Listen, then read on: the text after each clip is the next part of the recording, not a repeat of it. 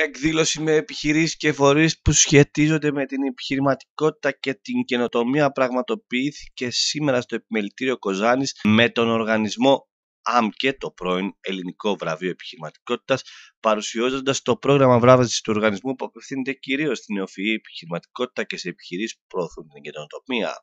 Συγκεκριμένα παρουσιάστηκαν στα ενδιαφερόμενα μέλη επιχειρήσεις του Μελητηρίου Κοζάνης οι ευκαιρίες που δίδονται μέσα από τον μη κερδοσκοπικό οργανισμό που έχει έδρα τι ΗΠΑ για ενίσχυση της τοπικής επιχειρηματικότητας με επιβράβευση των εταίρων που δραστηριοποιούνται σε ένα ευρύ φάσμα επιχειρηματικών κλάδων.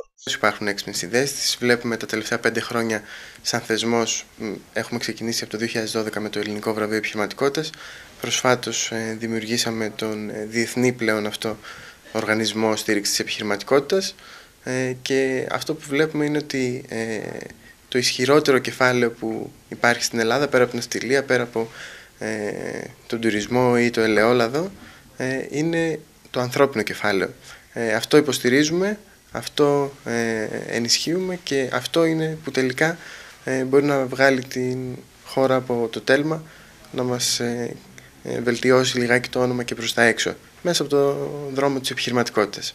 Όπως τόνισε χαρακτηριστικά ο πρόεδρος του ΕΒΕ Κοζάνη Νίκο η εκδήλωση απευθύνεται στις νεοφυείς επιχειρήσεις με γνώμονα την αλλαγή που υπάρχει παγκόσμια στο επιχειρηματικό τοπίο. Τήριο, σε συνεργασία με το Ελληνικό Βραβείο Επιχειρηματικότητας, διοργανώνει σήμερα μία εκδήλωση για, τις, για την καινοτομία για τις νεοφυείς επιχειρήσεις.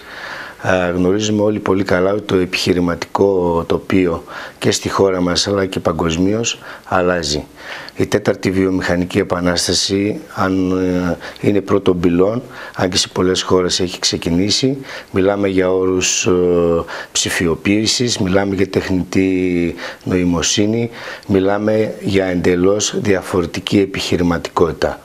Εμείς σαν επιμελητήριο έχουμε υποχρέωση ως φορέας της επιχειρηματικότητας να ενημερώσουμε όλες τις επιχειρήσεις, να φέρουμε σε επαφή τον επιχειρηματικό κόσμο με τα νέα δεδομένα, να μιλήσουμε για ψηφιοποίηση, να μιλήσουμε για καινοτομία, να μιλήσουμε για χρηματοδοτικά εργαλεία που υπάρχουν για αυτά τα πράγματα.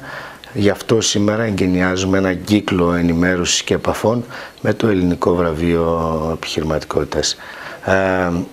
Ε, Θέλω να πω το εξής ότι στόχος του επιμελητηρίου και της νέας διοίκησης είναι το επιμελητήριο να είναι ανοιχτό για όλο τον επιχειρηματικό κόσμο, για όποιο πρόβλημα τον απασχολεί και ο δικός μου προσωπικός στόχος είναι κάθε μέρα το επιμελητήριο να διοργανώνει ενημερώσεις, εκδηλώσεις, ημερίδες με στόχο την πλήρη ενημέρωση των μελών του.